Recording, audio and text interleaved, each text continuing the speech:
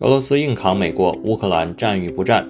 本期视频将通过为什么油价近期涨得这么猛，为什么欧洲对待俄罗斯和乌克兰的冲突比较含蓄，以及未来我们投资在目前的冲突状况下应该怎样调整，三点来阐述这一问题。大家好，我是 GoMax 中部分析主管 Jackie。最近呢，中东地区以及呢乌克兰问题非常火热，那么油价呢在最近涨得也非常猛，创出了七年的新高。大家出门开车加油的钱又变多了。兜里的钱就变少了，油价最终上涨到一百美金上方，通胀也上来了，成本高了，那么生活啊就质量会下降。为什么油价最近会涨得这么猛呢？本质的原因呢还是乌克兰问题。那么北约呢之前想要把导弹放在俄罗斯家门口，指着莫斯科就可以打过去啊，所以俄罗斯屯兵乌克兰边境，战争风雨欲来，黄金、石油价格大涨。二月十一号开始呢，这件事情就愈演愈烈。美国在当时呢，国家安全顾问沙利文。在新闻发布会上表示，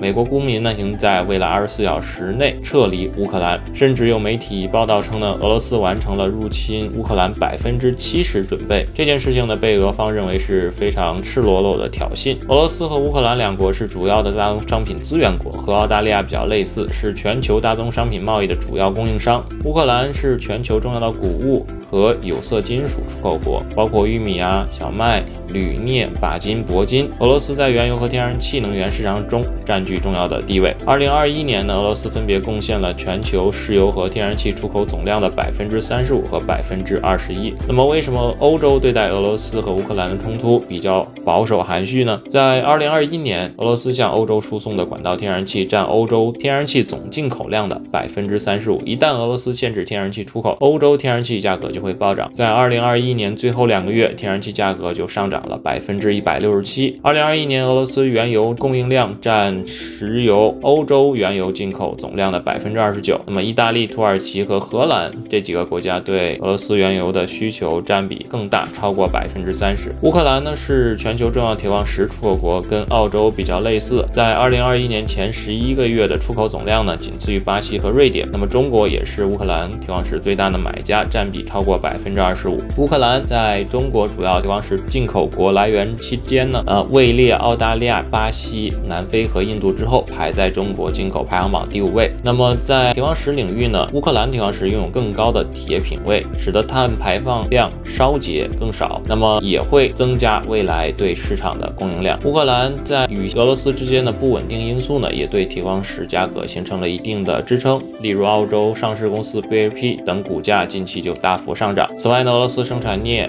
镍的价格也大幅上涨。根据前两年的数据呢，俄罗斯钯金、铜、镍、铝生产产量分别占全球市场的百分之四十、百分之十啊和接近百分之十的产量。按出口量占全球华比占比，俄罗斯钯金、纯镍、铜、铝占比分别为百分之四十五、四十二、三十七、十六。且主要目的地是欧洲。乌克兰呢，作为全球重要的玉米、小麦、大麦生产和出口国之一，粮食出口对需求国至关重要。那么，玉米和谷物及其货价格呢，近期也会受到呃该消息的影响，股价上涨。啊，或者是谷物价格也上涨。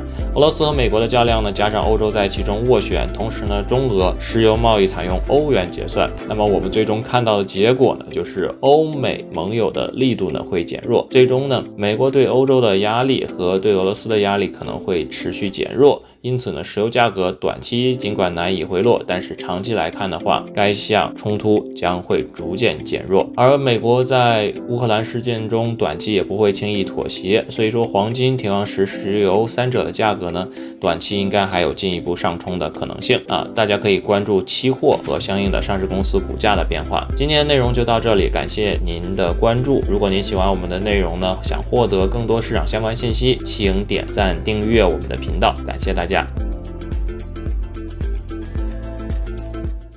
Go Markets 在线交易首选券商。